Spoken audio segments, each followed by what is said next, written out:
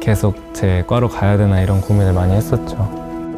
사피를 알기 전에 저는 두려움과 막연함이 굉장히 컸었습니다. 사피에 들어오고 나서 제 등에 날개를 단 것 마냥 일직선으로 갈 수 있게 만들어준 것 같아서 내 인생에 다시 오지 않을 행운이었다.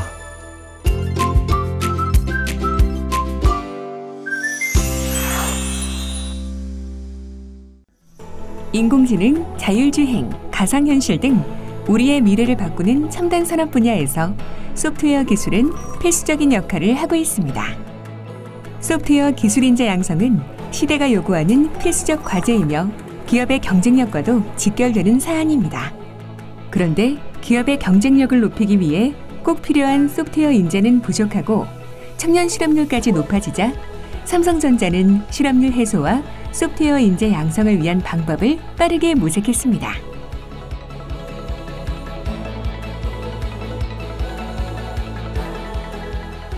(2018년 12월) 차세대 소프트웨어 인재를 키워서 취업 경쟁력을 높이고 대한민국 IT 생태계를 확장시키기 위해 설립된 삼성 청년 소프트웨어 아카데미. 도전 정신과 꿈을 가진 청년이라면 누구에게나 기회가 주어집니다. 비전공자도 전공자 수준의 역량을 키울 수 있도록 맞춤형 교육을 제공합니다. 토이 프로젝트가 아니라 실제로 서비스를 할 수 있는 수준의 개발을 경험할 수 있다는 게 어, 되게 좋은 것 같아요. 비전공자로서 이런 체계적인 개발 공부를 하거나 아니면 팀 프로젝트에 참여할 수 있는 기회가 별로 없는데 이런 제 경험을 바탕으로 실제 현업에서도 새로운 기술을 터득하는데 많은 도움이 될 거라고 생각합니다. 1년간 약 1,600시간의 교육이 진행되는 이곳에서는 몰입형 집중교육과 자기주도형 프로젝트를 통해 현업 수준의 실무 능력을 갖출 수 있도록 양질의 교육 프로그램을 운영합니다. 그리고 교육생들이 온전히 공부에 몰입할 수 있도록 교육생 전원에게 지원비를 제공합니다. 우수 교육생들에게는 해외 연수뿐 아니라 국내 소프트웨어 개발자들이 모여 소통하는 행사인 삼성 소프트웨어 개발자 컨퍼런스에서 발표자로 참여할 수 있는 기회도 주어집니다. 현업 개발자 분께서 저희 프로젝트에 대해 지도도 해주시고 개발자라고 하는 그런 직업은 저렇게 되어야 진짜 개발자인 게 아닌가라는 생각이 들 정도로 많은 인사이트를 받았었습니다. 저의 어떤 성장의 촉진제가 될 수 있었다고 생각을 합니다. 2018년 서울, 대전, 광주, 구미 캠퍼스에서 다섯 번째 지역인 부울경까지 총 다섯 개의 캠퍼스를 운영 중인 삼성 청년 소프트웨어 아카데미. 1기 500명을 시작으로 입학생은 꾸준히 증가하고 있는데요. 2025년까지 만 명의 청년 인재를 양성할 계획입니다. 지금까지 4,700여 명의 졸업생을 배출했고 그중 3,400여 명이 취업에 성공해 꿈에 한 발짝 다가섰습니다. 항상 매번 코딩 테스트에 떨어져서 나는 안 될 사람이다 라고 이제 스스로 느꼈던 것이 있었, 있었는데요. 사피에 들어오고 나서는 이제 코딩 테스트를 카카오 인턴도 붙고 이제 뭐 현대카드나 뭐 다른 이제 회사들도 붙기 시작하면서 자신감을 얻을 수 있었습니다.